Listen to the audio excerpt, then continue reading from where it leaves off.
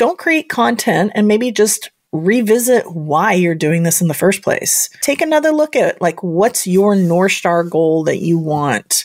You know, what excited you in the first place? How do you reconnect? Maybe it's a time of reconnection a little bit. You know, journal. Journal that. Why did you get started? What made you excited to continue? Um, what do you still feel like if your channel went away, what's left unsaid for you?